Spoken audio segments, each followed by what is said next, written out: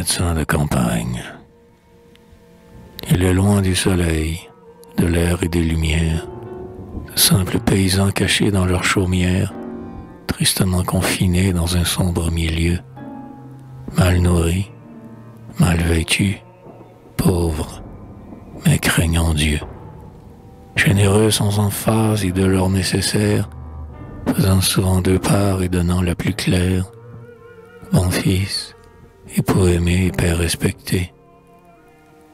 Patriarche obscur, sans dehors affecté, il garde le secret des courages antiques et la tradition des vertus domestiques.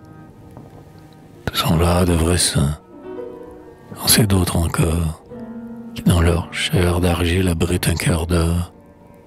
Des sœurs de charité, de simples sœurs d'école, dont le front dedans est ceint d'une auréole, d'humbles instituteurs, gais et familiers, plus naïfs et plus purs que tous leurs écoliers, des vieillards indulgents, des prêtres vénérables, témoins toujours émus des pleurs des misérables. J'en prends un au hasard, c'est notre médecin. Selon lui, tout écart de régime est malsain. Mais quand se couche-t-il? Quand se met-il à table? Courriers de malheur, la troupe lamentable assiège à tout instant sa porte. On meurt chez nous. C'est ma mère, monsieur le docteur, hâtez-vous. Tenez, c'est mon grand-père. Une paralysie.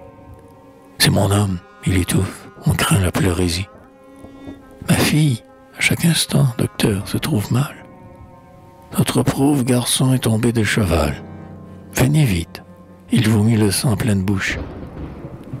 Passez d'abord chez nous, monsieur, ma femme accouche. Ce soldat qu'on appelle à l'heure du péril, l'homme qu'on se dispute ainsi, s'appartient-il? Peut-il un seul instant s'accouder sur sa chaise, lire, écrire, penser, manger, dormir à l'aise? Peut-il prendre à témoin la tempête et la nuit pour rester au foyer qui réchauffe et qui luit? Cherche-t-il un problème? Il lui faut à toute heure quitter pour bercer l'humanité qui pleure, l'humanité qui rit l'évite. Il sent la mort. Au moins, voit-il au bout de son constant effort poindre la renommée et briller la fortune. Fortune et renommée au champ garde rancune. Elles aiment la ville où sont les charlatans. Méfie de la campagne, ici, de temps en temps, on voit venir au champ la fortune et la vogue, sécher le débitant secret de quelque drogue. Quant au vrai médecin, s'il guérit, c'est un dieu. Si le malade en meurt, un sou, point de milieu. Il faut que son programme en tout point s'accomplisse. Si le mal se prolonge, il en est le complice, ou l'impuissant témoin. C'est presque un assassin, et l'on s'en va quérir un autre médecin. Reste-t-il le sorcier? C'est lui que l'on consulte. Mystérieux trait de la science occulte, au nez des vérités dont nous dépitons, nous soufflons la chandelle et marchons à tâtons. Le médecin dit vrai, le sorcier ment. Qu'importe, nous aimons le menteur et frappons à sa porte. Va jusqu'au bout, docteur. Excuse les ingrats.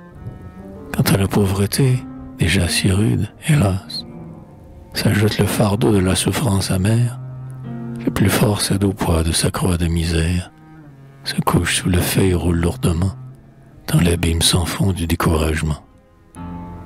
S'il revient à la vie, il reprend avec elle du travail obstiné, la routine cruelle, et de la maladie il ne lui reste plus qu'un souvenir troublé, déplaisant et confus, d'angoisse, d'épouvante et de douleur passée. La misère du jour absorbe sa pensée. Et s'il attendrait ceux qui l'implorent aujourd'hui, les bienfaiteurs d'hier sont oubliés par lui. Docteur de toute dette humaine ou campagnarde, la faim sera toujours, hélas, la plus criarde. Mais du pauvre qui souffre, heureux les nourriciers, heureux les médecins, heureux les créanciers. Pauvre est insolvable et ne fait point faillite. Il contracte une dette et c'est Dieu qui la quitte.